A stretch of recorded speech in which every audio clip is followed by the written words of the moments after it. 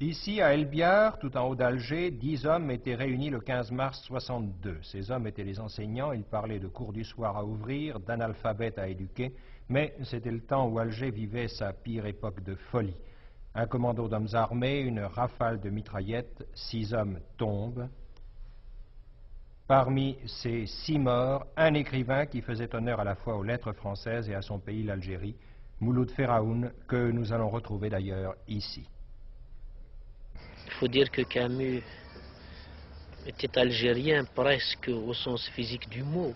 Il dit bien que, à propos des événements d'Algérie, il dit j'ai mal à l'Algérie comme d'autres ont mal au poumon. Nous le considérons comme une gloire algérienne.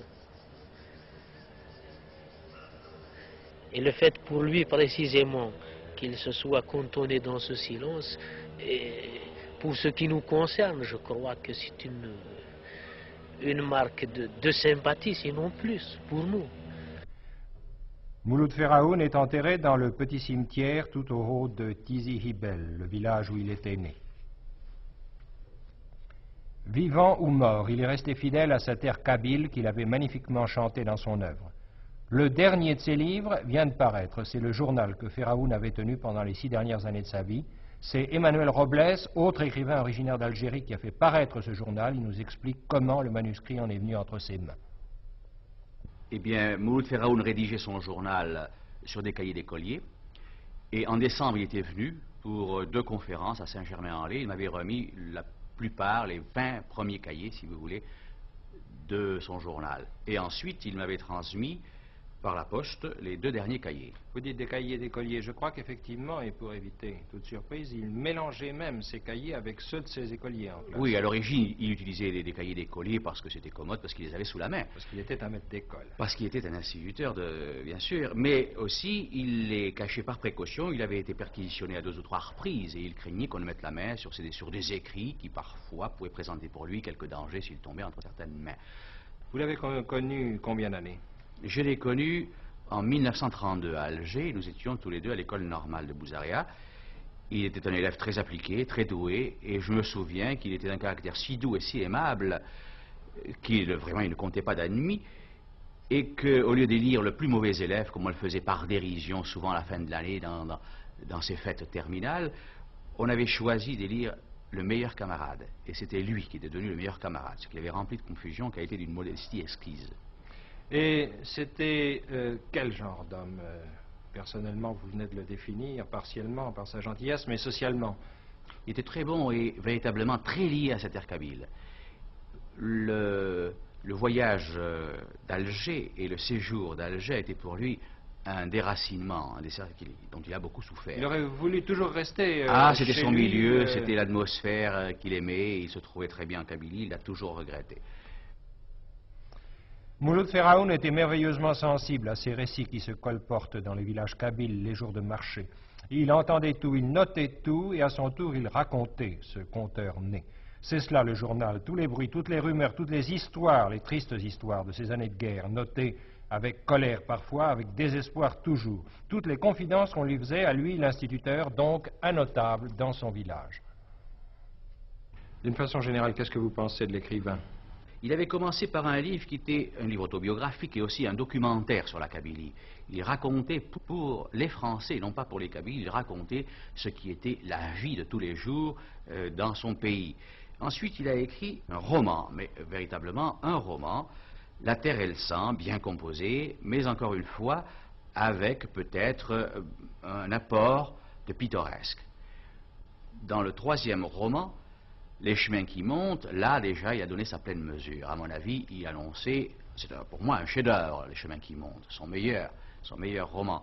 Mais cela a annoncé un très grand écrivain par le style, par la composition, par euh, l'art très dépouillé, n'est-ce pas, d'analyser les âmes. Cette, investigation psychologique était déjà, à mon avis, très poussée. Et en même temps, et en même temps, il avait supprimé tout ce pittoresque, tout cet exotisme qui pouvait figurer avec trop euh, d'abondance, et ce qu'on lui a souvent reproché, dans son premier livre. Il avait un roman en train, juste avant sa mort. Il avait un roman en train, en effet, mais qu'il avait à peine commencé, il en a écrit quatre chapitres et il inscrivait en marge les dates de rédaction. Et on peut lire la date du 11 mars, c'est-à-dire euh, qui précédait de quatre jours seulement sa mort. Pourquoi l'a-t-on tué? J'en sais rien, je crois qu'il n'était pas visé, lui en tant que Pharaon, ni en tant qu'écrivain.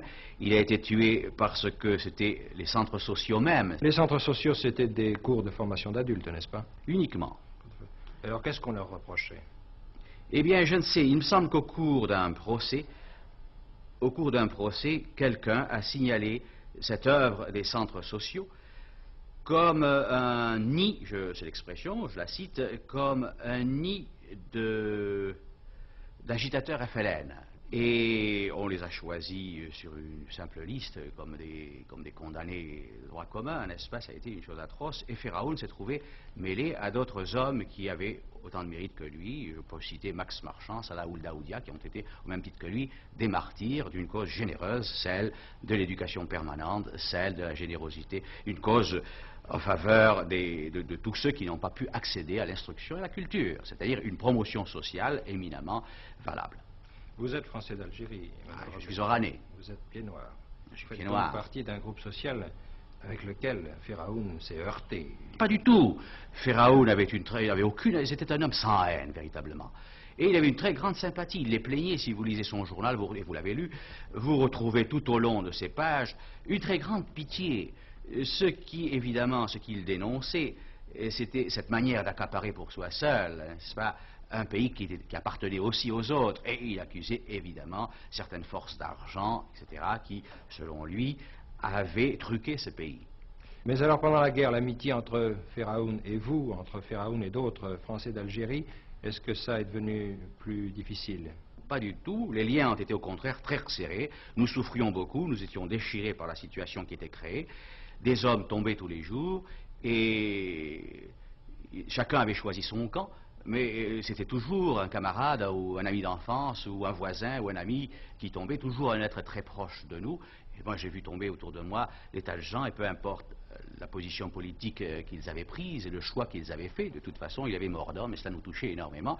Et si nous étions déchirés, c'est parce que le drame nous, touchait au cœur. Il aimait les hommes, tout simplement. Tout simplement. Tout bêtement. Il avait quel âge quand il a été Il avait 49 ans.